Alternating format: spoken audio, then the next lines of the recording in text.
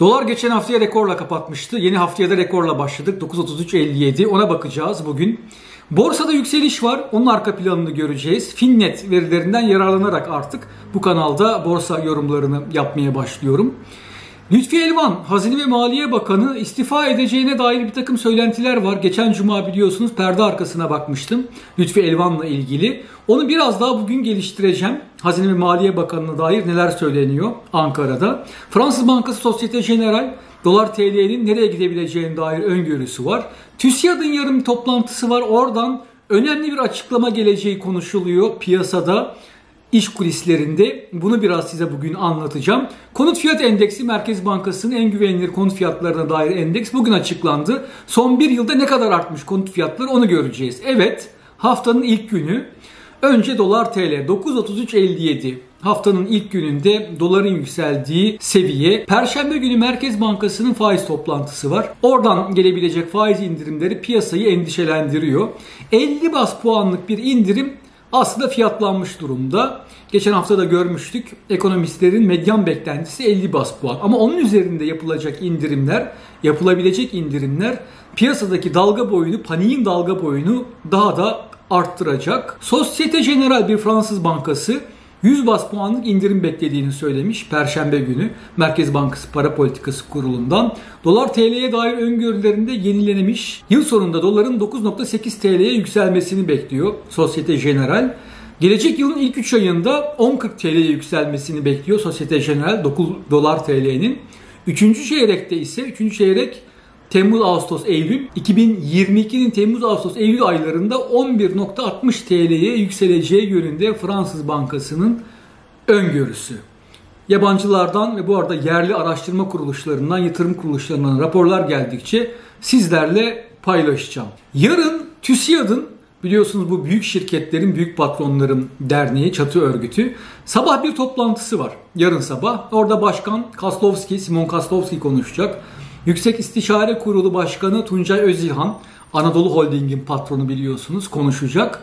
Yarın TÜSİAD'dan hükümete yönelik çok sert bir uyarı geleceği yönünde iş dünyasında bir kulis var. Bugün konuşuluyordu. Murat Sabuncu T24 yazarı bunu kaleme aldı. Yarın bir uyarı geleceğini anlattı bugünkü yazısında. TÜSİAD biliyorsunuz zaman zaman sert konuşuyor ama hani sertliğin derecesi yumuşak sert diyelim bugüne kadar böyle ciddi bir çıkış yaptığını AK Parti iktidarına karşı tanık olmadık. Ama geçmişte ondan önce TÜSİAD'ın tarihinde çok sert çıkışlar var. 1970'lerin sonunda hatta bilen bilir Ecevit hükümetini, CHP'nin o dönemki lideri Ecevit'in hükümetini TÜSİAD bir gazete ilanıyla yıkmayı başarmıştı. O zamanlar tabii Türkiye ekonomisinin koşulları çok farklıydı. Kara borsa kuyruklar vardı. TÜSİAD'ın ilanının bardağı taşıran son damla olduğunu o dönem için söyleyebiliriz. Bugün elbette TÜSİAD'ın AKP iktidarını yıkabilecek gibi bir gücü yok. Zaten o çapta bir yarın açıklama beklemiyorum ben TÜSİAD'dan. Ama yine de bugüne kadarki açıklamaların en ciddisi, en ağırını yarın muhtemelen duyacağız. Bakalım yarın TÜSİAD ne sertlikte bir açıklama yapacak yoksa yine son dakikada iş dünyasının Türkiye'deki burjuvazinin her zamanki korkaklığıyla bir geri adım atacak ve gerçek fikirlerini söylemekten geri duracak, imtina edecek mi?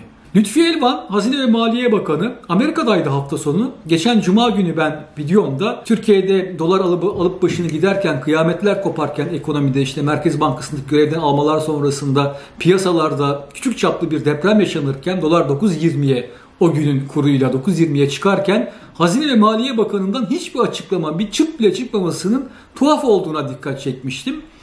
O video yayınladıktan bir gün sonra Oda TV'de hafta sonu bir kulis haber yayınlandı. Lütfi Elvan, Hazine ve Maliye Bakanı bu son gelişmelerden rahatsız ve istifa etmeyi değerlendiriyor, düşünüyor şeklinde. Oda TV'nin kulisiydi hafta sonunun en önemli ekonomideki bilmeden geçilmemesi gereken gelişmesiydi. Ben hani böyle bir istifaya dair benim bir bilgim yok. Ama Ankara'da gerçekten de Elvan'ın Hazine ve Maliye Bakanı rahatsız olduğuna dair bir takım bilgiler var konuşuluyor bu Ankara koridorlarında. Ankara'da son dönemde bazı bakanlıkların ödemeler konusunda Maliye Bakanlığı'nın, Hazine ve Maliye Bakanlığı'nın bypass ettiği konuşuluyor. Biliyorsunuz devletin kasasını, ödemelerini Maliye Bakanlığı yönetir. O yüzden de hep böyle bir çekişme vardır çeşitli bakanlıklarla Maliye Bakanlığı arasında. Bu sefer Son dönemde mesela Sağlık Bakanlığı için böyle bir kulis duydum. Kendi ödemeleri için Maliye Bakanlığı'nı bypass edip külliyeden yani Cumhurbaşkanlığı Beştepe'deki saraydan hallettiği konuşuluyor. Başka bazı bakanlıklardan bakanlıkların da aynı yoldan gittiği ve Maliye Bakanlığı'nın biraz böyle hani önemini şu an devletin işleyişi içinde hafiften yitirdiği ne dair bir takım kulis bilgileri var. Ankara'da. Lütfi Elvan'ın bundan rahatsız olduğu, bu arada Merkez Bankası'ndaki bu ani görevden almalardan da rahatsız olduğu konuşuluyor. Hatta bir rivayete göre Amerika'ya gitmesi, tam da Merkez Bankası'ndaki görevden almalar esnasında Amerika'da bulunması, bunun bir yansıması deniliyor ki o toplantılara G20 Maliye Bakanları toplantılarına başka bir temsil düzeyinde de katılım olabilirdi. Zaten bazı toplantılara uzaktan katılım yani online katılım da mümkündü. Lütfi Elvan bu yöntemi kullanabilirdi. Bu yöntemi kullanmayıp Amerika'ya gitmeyi tercih etmesi bu görevden almaları önceden biliyordu. O esnada o fırtına esnasında belki de paydaş olmamak için Amerika'da bulunmayı tercih etti. Konut fiyat endeksi Merkez Bankası'nın en Türkiye'deki konut fiyatlarına dair en güvenilir endeks. Son bir yılda bugün açıklandı. %33.4 Türkiye genelinde konut fiyatları arttı. Hızlanma var konut fiyatlarındaki artışta. Son bir ayda %3.9 yani %4'e yakın bir artış var konut fiyatlarında. Bu yüksek. Neden yüksek? Yani bir ayda %4 her ay %4 olsa 4 ile 12'yi çarptığımızda yaklaşık %50 civarında bir artışa karşılık gelir konut fiyatlarında. O da şimdiki yıllık artışın dahi üzerine çıkması anlamına gelir. Ürkütücü, korkutucu çünkü konut fiyatları zaten çok yüksek. Umarım daha hızlanmaz ama bu kanaldaki başka analizlerde incelemiştik. Arızda bir problem var. İnşaat şirketleri maliyet artışları dolayısıyla yeteri kadar artık proje yapmıyorlar. Bu da fiyatları itici, yukarıya itici bir faktör olarak rol oynuyor. Son olarak borsaya bakalım. Borsa İstanbul bugün %0.58 artıda kapattı. Yani bu dolardaki fırtınayı takmadı borsa. Çünkü borsa İstanbul'daki hisseler biliyorsunuz dolar bazında gerçekten tarihi dip seviyelerde. Bundan sonra bu kanalda borsa analizlerinde Finnet'in ürünlerini kullanacağım. Günün en çok kazandıran hisselerine bakıyorum. En çok yükselen hisseler. Hep enerji hisselerini görüyoruz üst sıralarda. En tepede gübre fabrikaları var. Çünkü gübrede biliyorsunuz bütün dünyada çok yüksek bir fiyat artışı var. Emtia fiyatları artıyor, gübre fiyatları artıyor. Bütün dünyada artıyor. %6.20 bugün gübre fabrikalarının hissesinde yaşanan artış ama onun altında Hemen ikinci sırada enerji sayı görüyoruz. %5.14. Biyoenerji 3. sırada %3.70.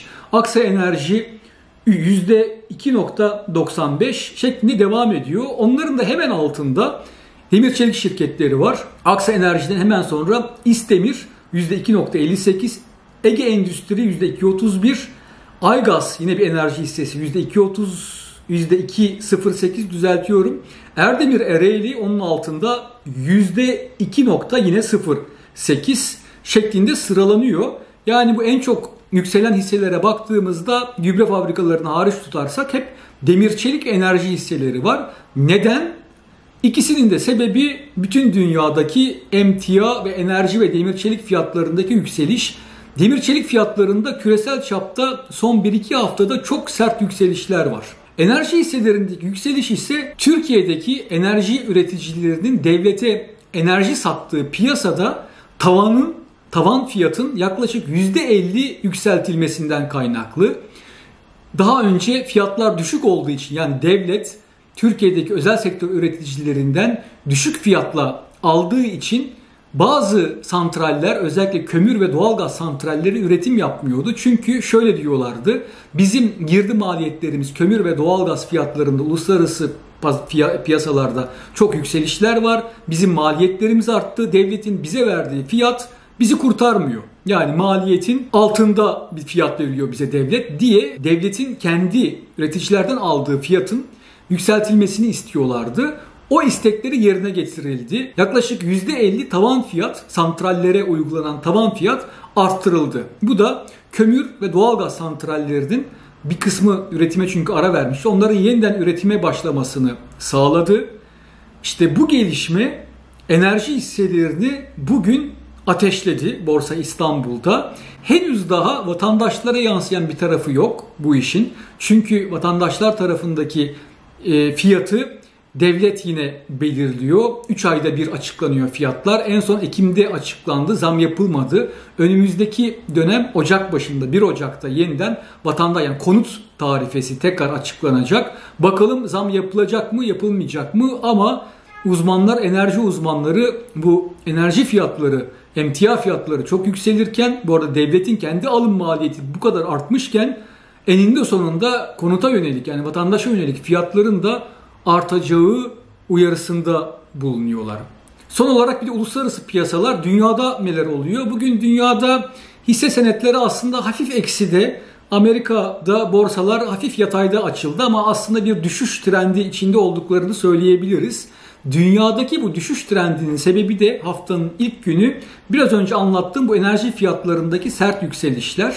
Bu enflasyonun kalıcı olduğu algısının güçlenmesine yol açıyor dünya piyasalarında. Bu iki haftadır gündemde olan bir ana motif uluslararası piyasalarda, uluslararası borsalarda. Bugün de bu algı iyice güçlendi. Bunun etkisiyle mesela DAX Alman endeksinin düştüğünü görüyoruz. Çünkü enerji fiyatları yükselirse enflasyon yükselecek. Bu da Amerikan Merkez Bankası'nın parasal sıkılaşmaya beklenenden önce geçeceği beklentisini güçlendiriyor. Eğer çünkü enflasyon beklenenden hızlı artarsa Amerika'da Amerikan Merkez Bankası da enflasyonu bastırmak için parasal sıkılaştırmayı beklenenden önce başlatacak. Yani faiz arttırımlarını beklenenden öne çekecek. Belki şu anda gelecek yıl başlaması bekleniyor ama belki gelecek yılın başlarına doğru çekilecek. Amerikan Merkez Bankası'nın bu arada para piyasaya pompaladığı parayı azaltması her an eli kulağında. Belki önümüzdeki toplantısında bu kararını verecek. Bunun da ilk toplantıda gerçekleşeceğine dair beklentiler iyice güç kazanmış durumda. Bu gelişme dünya borsalarını aşağıya çekiyor. Enflasyonist beklentilerdeki yükseliş. Bu arada ama Amerikan 10 yıllık tahvillerinin getirisinde bir artış var. Bugün yine 1.6'yı geçti. Burası önemli. Buraya bir mim koyalım. Çünkü bu 10 yıllık tahvillerin getirisindeki artış dönüp dolaşıp bizi Türkiye piyasalarını, Türkiye'deki borsayı ve para piyasalarını vuruyor. Ama artık bugün bu kadar yeterli. Bunu da artık yarın bakarız. Yarın saat 20'de yeniden görüşmek üzere.